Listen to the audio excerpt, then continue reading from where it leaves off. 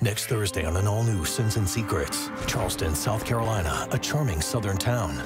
Until Kate Waring, a young socialite, goes missing. It wasn't like her to just disappear. After questioning, police suspect her two friends. She would mix some truth with lies. He had some criminal charges. And when her remains are discovered, so is a tragic tale of murder and deceit. How could this have happened in Charleston?